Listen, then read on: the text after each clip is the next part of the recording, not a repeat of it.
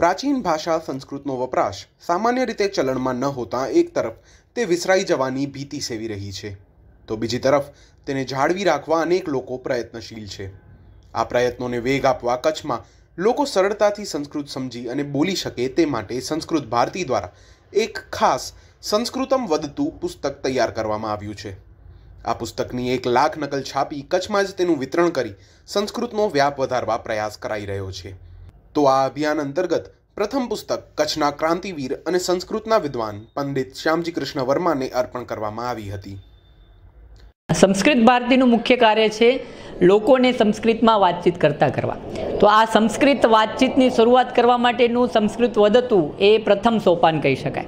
આ પુસ્તકમાં બસો વાક્યોનો સંપુટ છે કે જે વ્યક્તિ બોલવાની ઈચ્છા ધરાવતા હોય, એ જો આ પુસ્તક કંઠસ્થીકરણ કરી લે, એના જે બસો વાક્ય છે એને રોજના રોજના જીવનમાં ઉપયોગ કરતો થાય, તો એની ભૂખ વધારે જાગશે સંસ્કૃત શીખવા માટેની. અને એ આગળ જતાં સંભાષણ શિબિરો, સંભાષણ વર્ગમાં જોડાય અને સામાન્ય રીતે જેવી રીતે આમ તમે અને આપણે ગુજરાતીમાં વાતો કરી રહ્યા છીએ, એવી રીતે એ સંસ્કૃતમાં વાતચીત કરતો થઈ શકે છે.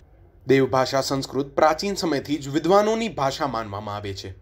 જોકે આ મિથ્યાને દૂર કરી સામાન્ય વ્યક્તિ પણ સંસ્કૃત બોલતી થાય તેવા પ્રયાસો સંસ્કૃત ભારતી દ્વારા કરવામાં આવતા હોય છે. કોઈ પણ ભાષાનો વ્યાપ વધારવા તેને દૈનિક ક્રિયામાં વપરાશમાં લેવી જરૂરી છે અને તે માટે જે તે ભાષામાં વિચારવું જરૂરી છે. સામાન્ય લોકો પણ સંસ્કૃત સમજી તેમાં વિચારવાનું શરૂ કરે તે માટે સંસ્કૃત ભારતી દ્વારા એક ખાસ પુસ્તક તૈયાર કરવામાં આવ્યું છે. ભારતની આઝાદી માટે લંડનમાં અંગ્રેજોની છાતી પર બેસી સ્વરાજની માંગ કરનારા કચ્છના વીરપુત્ર પંડિત શ્યામજી કૃષ્ણ વર્માના ચરણોમાં પ્રથમ પુસ્તક અર્પણ કરી આ અભિયાનની શરૂઆત કરવામાં આવી છે. કચ્છના માંડવીમાં જન્મેલા શ્યામજી પોતે સંસ્કૃતના વિદ્વાન હતા અને તે કારણે જ તેમને પંડિતની પદવી પણ મળી હતી. ત્યારે ભાષાને બચાવવા શરૂ કરાયેલા અભિયાનની પ્રથમ પુસ્તક માંડવીમાં આવેલ પંડિત શ્યામજીના સ્મારક ક્રાંતિ તીર્થ ખાતે તેમના ચરણોમાં અર્પણ કરવામાં આવી હતી. પંડિત શ્યામજીને પુસ્તક અર્પણ કરવા યોજાયેલ આ કાર્યક્રમમાં માંડવી મુન્દ્રાના ધારાસભ્ય અનિરુદ્ધ દવે પણ ખાસ ઉપસ્થિત રહ્યા હતા.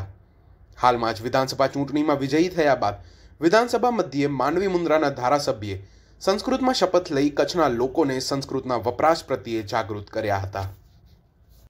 અત્યારે આપણે વિધાનસભામાં જોયું તો અગિયાર જેટલા ધારાસભ્યોએ સંસ્કૃત ભાષામાં શપથ ગ્રહણ કર્યા. અને કચ્છ માટે ગૌરવની વાત છે કે સૌથી પહેલાં અત્યાર સુધી કોઈ કચ્છમાં સંસ્કૃતમાં શપથ ગ્રહણ કર્યું જ નથી.